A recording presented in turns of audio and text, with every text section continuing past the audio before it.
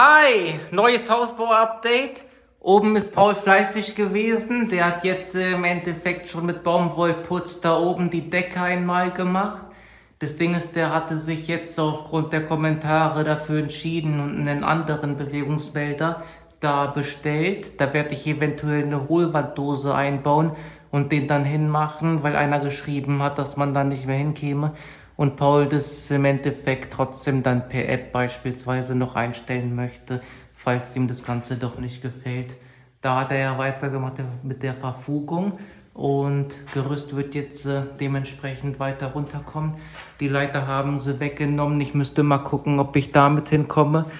Gestern ist nämlich der, ich weiß gar nicht, ich glaube der Bruder von Paul hier gewesen hat mit ihm gemeinsam die Dachdeckerarbeiten für die Garage gemacht. Ich habe gesehen, wie die diverse Holzlatten und so weiter da oben drauf gepackt haben. Und wo ich heute hingekommen bin, habe ich schon gesehen, dass diverse Ziegelsteine oben drauf liegen. Ich gehe mal ein Stück zurück, aber die Leiter reicht auf jeden Fall aus, um hier auf das Gerüst hochkommen zu können.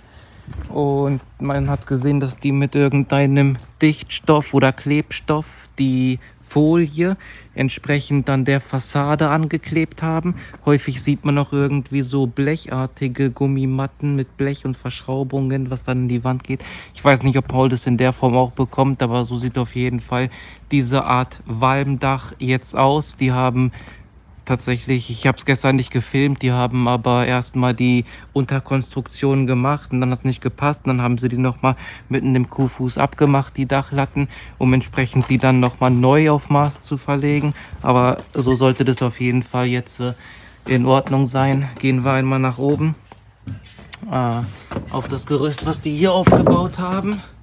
Und hier hat er ja die Dachfolie an die Balken, welche vom Dachstuhl gewesen sind, festgetackert. Und somit ist hier auch alles komplett trocken.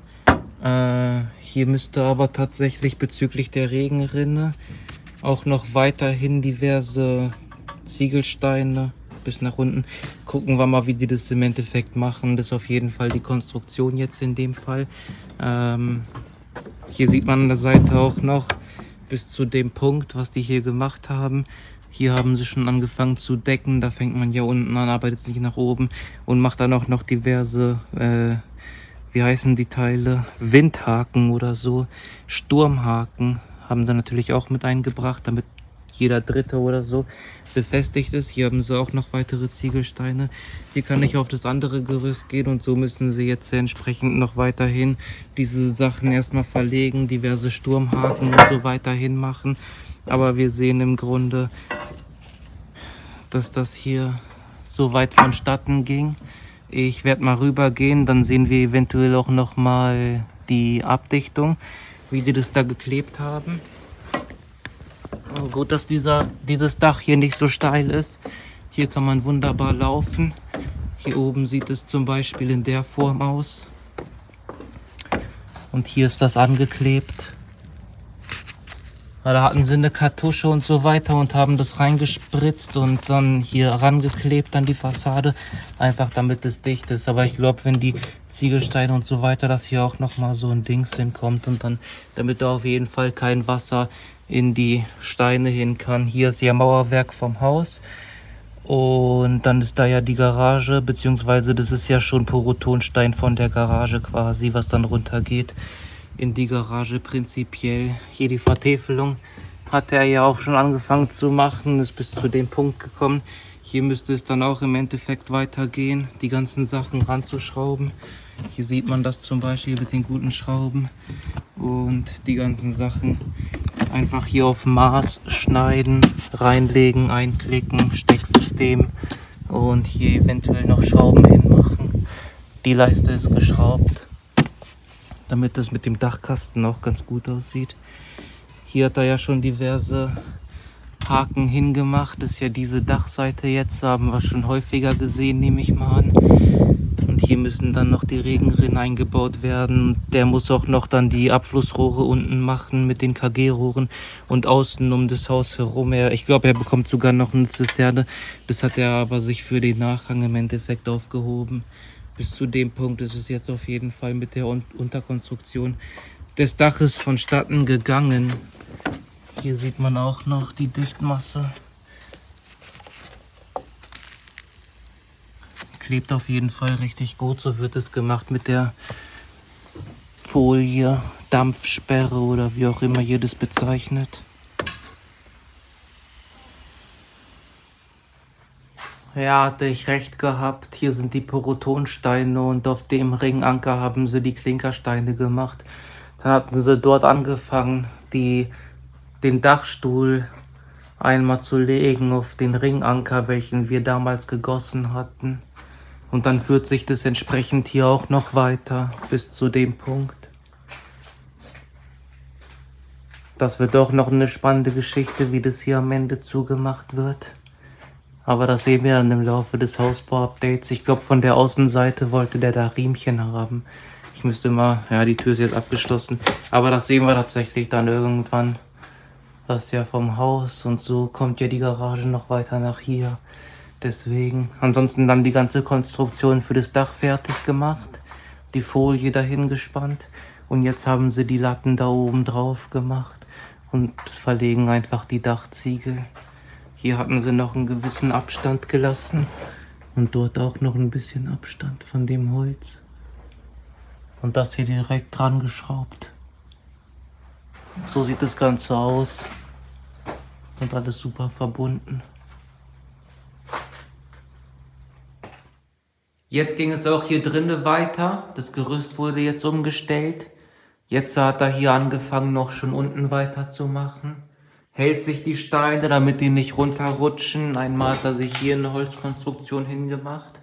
Und hier sieht man auch noch diesen einen Stein, der das da hält, damit es nicht absackt. Und wenn es trocken ist, kann es dann weitergehen. Hier auf der Seite sieht man auch, dass er schon recht viel gemacht hat. Von da oben einmal hier alles komplett fertig gemacht. Bis zur Ecke, gesamter Heizkreisverteiler.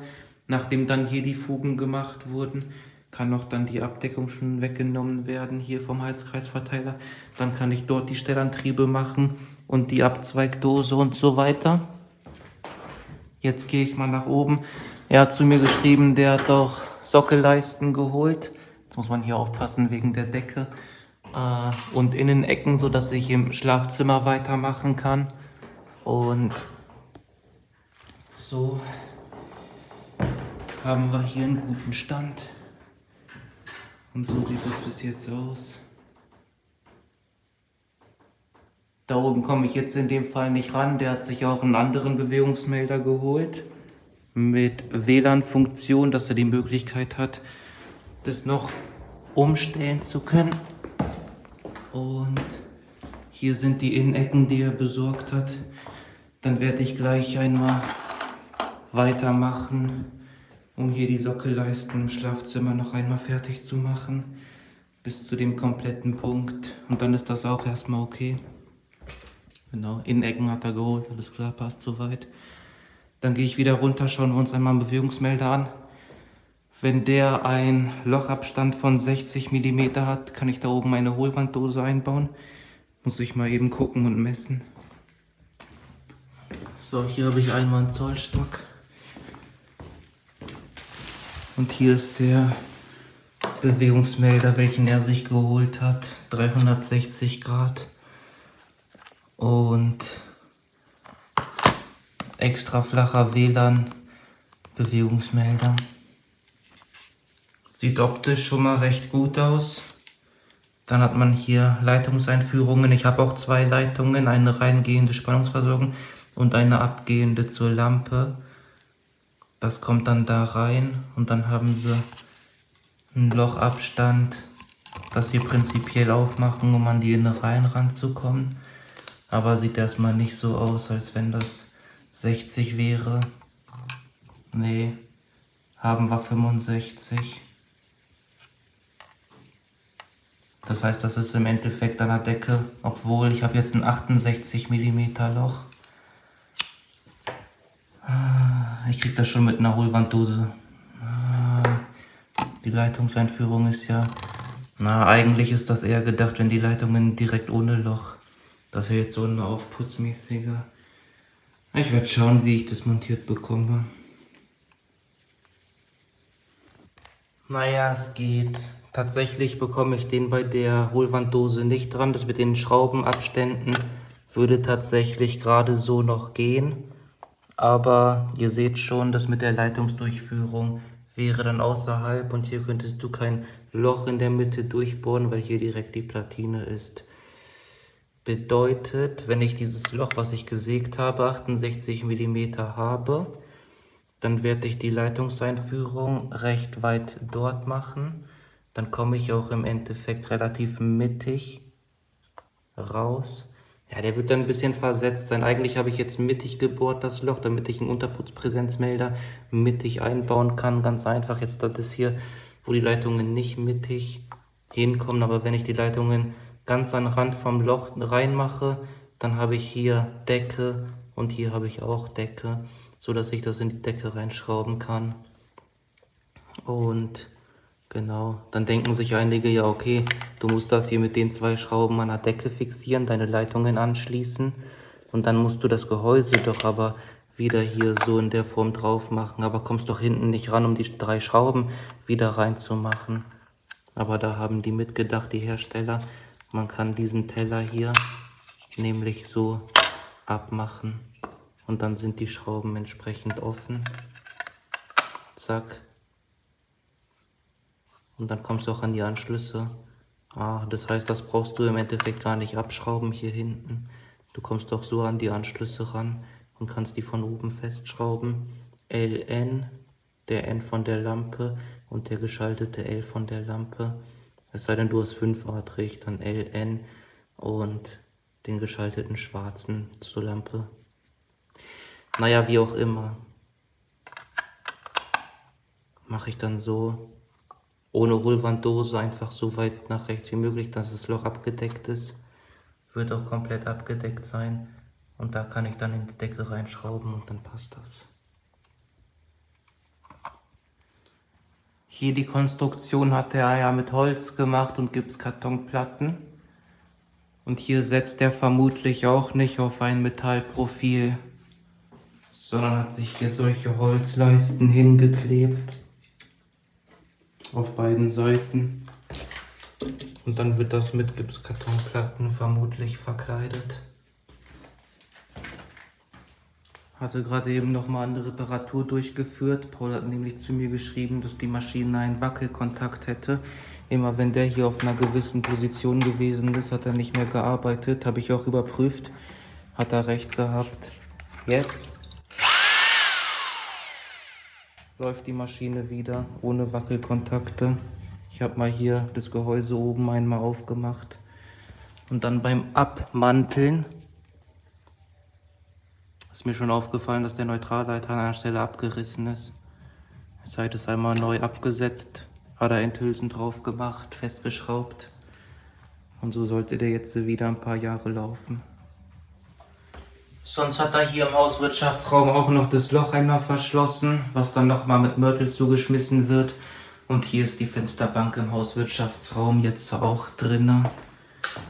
Da es ein Privatgebrauch ist, müsste man prinzipiell der Bohrmaschine keiner DGUV-Prüfung oder so unterziehen. Ich habe jetzt einfach mal spaßeshalber drauf gemacht, weil die Dinger ja auch irgendwann mal weg müssen. Dann würde ich sagen, das war's mit dem Video. Bis zum nächsten Mal. Tschüss!